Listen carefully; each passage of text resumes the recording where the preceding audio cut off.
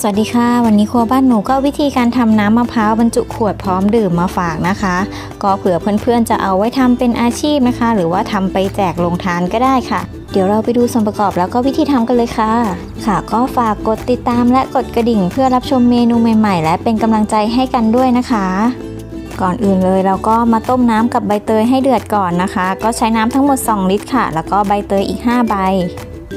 และเมื่อน้ำเดือดแล้วเราก็จะใส่น้ำตาลทรายลงไปทั้งหมด 350 กรัมค่ะ สูตรนี้ก็จะไม่หวานมากนะคะ ยังไงในเรื่องของความหวานเพื่อนๆ สามารถปรับลดปรับเพิ่มได้นะคะ ค่อยๆทำค่อยๆ ชิมก็ได้ค่ะ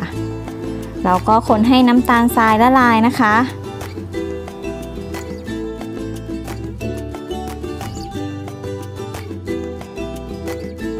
เสร็จแล้วก็ใส่ตัวน้ำมะพร้าวน้ำหอมลงไปนะคะ ทั้งหมด 1 ลิตรค่ะ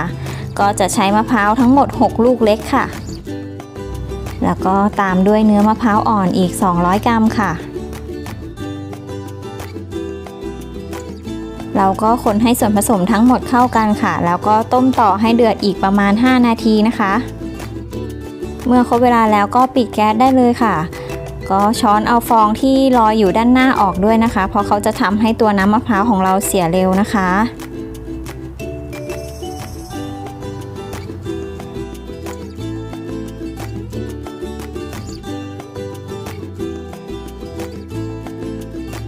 ค่ะก็เป็นอันเรียบร้อยแล้วนะคะ เดี๋ยวจากนี้เราก็จะรอให้ตัวน้ำมะพร้าวของเราเย็นตัวลงสักเล็กน้อยนะคะ เดี๋ยวเราไปกรอกใส่ขวดกันค่ะ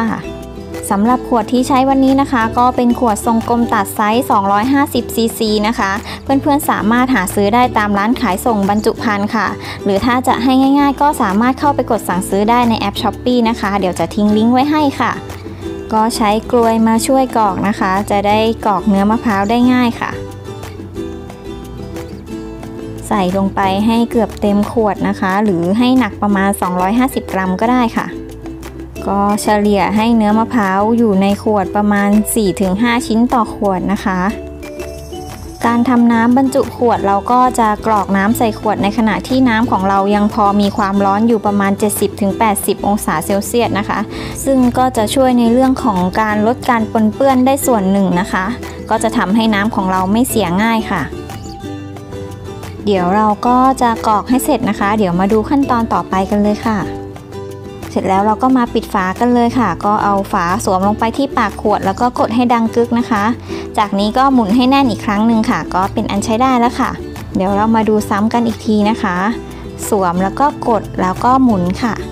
ค่ะแค่นี้ก็เป็นอันเรียบร้อยแล้วนะคะ สำหรับวิธีการเก็บรักษานะคะ ก็สามารถเก็บในตู้เย็นได้ประมาณ 7 วันค่ะ หรือถ้าใครอยากให้อยู่ได้นานๆนะคะ ก็แช่ช่องฟรีซไว้เลยค่ะ อยู่ได้เป็นเดือนค่ะสำหรับน้ำมะพร้าวสูตรนี้นะคะ 1 สูตรก็สามารถกรอกใส่ขวดไซส์ 250 ซีซีได้ทั้งหมด 12 ขวดนะคะ ต้นทุนรวมขวดก็ตกอยู่ที่ขวดละ 7 บาทกว่าๆค่ะสำหรับราคาขายนะคะ ก็ขายได้ตั้งแต่ 15 บาทถึง 20 บาทค่ะ ขึ้นอยู่กับสถานที่ที่เพื่อนๆไปขายนะคะ และท้ายนี้ก็เป็นตัวอย่างการคำนวณต้นทุนวัตถุดิบแบบคร่าวๆไม่รวมค่าแรงค่าแก๊สนะคะก็หวังว่าคลิปนี้จะพอเป็นประโยชน์กับเพื่อนๆนะคะ ถ้าชอบก็ฝากไปลองทำกันดูค่ะสำหรับวันนี้ครัวบ้านหนูขอตัวลาไปก่อนนะคะ ไว้เจอกันใหม่เมนูหน้าค่ะ สวัสดีค่ะ